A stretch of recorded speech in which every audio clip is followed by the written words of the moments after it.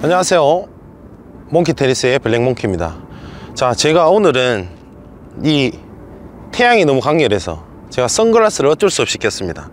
이 여러분들도 낮에 공 치시는 분들은 이 녹내장이나 백내장이 있을 수 있기 때문에 선글라스를 꼭 끼고 치시기 바랍니다.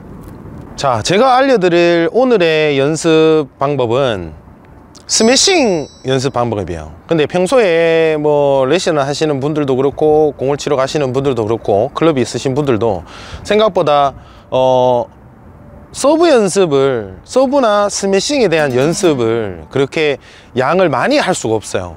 근데 레슨 받으시는 분들은 일단 이렇게 뭐 레슨 받으시러 가면 ball box가 있기 때문에 내가 이렇게 공을 여러 개를 가지고 충분히 연습을 할 수 있기 때문에 연습을 하시는데 일반적으로 게임만 하는 클럽에 가시면 뭐 일반 분들이 아시다시피 뭐 투마 정도는 하죠. 투마 정도는 하는데 대부분 따로 내가 혼자서 스매싱 연습이나 서브를 연습할 경우가 생각보다 없어요. 그리고 몸 푸는 워밍업 시간 동안에도 생각보다 스매싱은 뭐 한 평균적으로 3, 4개, 4, 5개 정도만 치고 게임을 플레이를 하시는 경우가 많고요 그래서 제가 오늘 알려드리는 방법은 이제 스매싱에 대한 연습이에요. 근데 이거를 조금만 더 연계를 시키고 응용을 시키면 충분히 서브를 연습하시는데도 충분한 연습이 될 것 같아요. 자 일단 제가 시범을 보여드리겠습니다. 자 하실 때 내가 공을 4개 잡고 하실 수 있는 분들은 4개를 잡고 하시면 되고 만약에 없는 분들은 공을 한두 개 정도만 들고 하시면 됩니다 내가 스매싱을 하는 것처럼 여기서 드는데 일단 내가 라켓을 이 트로피 자세를 먼저 만들어 주시고 왼팔은 아직 공을 던져야 되니까 어, 밑에 단계에 준비를 하시고 라켓은 트로피 자세를 최대한 만들어 준다고 생각하세요 그런 다음에 자 내가 제가 지금 크게는 1단계, 2단계, 3단계로 나눌까요? 근데 1단계는 내가 공을 조금 더 낮은 지점에서 스매싱을 치는 거와 2단계는 조금 더 중간 그 다음 3단계는 내 머리 위에까지 타점을 잡아 주시는 거예요. 그러니까 첫 번째는 대략적인 각도입니다. 첫 번째는 내 어깨선 여기 어깨선을 기준으로 했을 때 여기서부터 제 머리 정면 위에까지 90도예요. 90도라고 치면 첫 번째는 30도 정도 두 번째는 60도 정도 세 번째는 90도의 공을 던져보는 거예요. 그러니까 평소에 이렇게 자 공을 가지고 30도 정도에 던지면 자 공이 어떻게 되겠어요? 땅에 찍히겠죠? 자 다시 한 번 더. 30도로 던지면 공이 땅에 찍히겠죠? 그 다음에 60도 60도 정도에 던지셔서 이렇게 하면 내가 스매싱을 치시면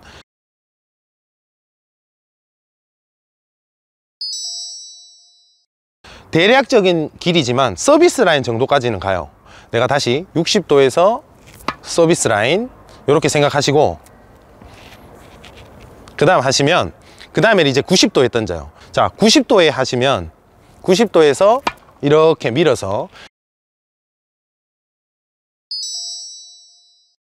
자꼭 베이스라인 있는 안에 들어오지는 않아도 돼요. 내가 대략적인 길이를 알아보는 거라서 내가 90도에 던져서 이 베이스라인 언저리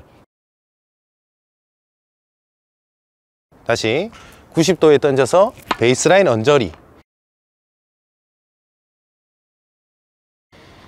이렇게만 가주시면 돼요. 자 이제 옆에 카메라로 한번 보시면 내가 아까 연습했는 것처럼 자 30도에서는 라켓 면이 이렇게 될 거예요. 이렇게 맞추는 거고 그 다음에 60도가 되면 요 정도 요 정도에서 맞는 거고 그 다음에 90대가 되면 이렇게 다시 90도가 되면 요 정도 위에서 내가 터치가 되겠죠. 근데 뭐 스매시 게임을 하시다 보면 스매싱을 하다 보면 내가 당연히 여기도 있고 여기도 여기도 있고 내가 머리 뒤에서 맞는 경우도 있어요. 내가 뒤로 넘어오는 공을 내가 점프 스매싱으로 할 때처럼 하면 이 타점이 조금 더 뒤로 오는 건 있지만 크게 내가 일단은 앞에서 나누는 세 단계로 나눴을 때 30도에서는 내가 공을 길게 칠 수 없겠죠. 그러니까 길게 칠 수 없는 게 어떤 거냐면 어떤 상황이냐면 게임 중에서는 네트 앞에 짧게 오는 스매싱.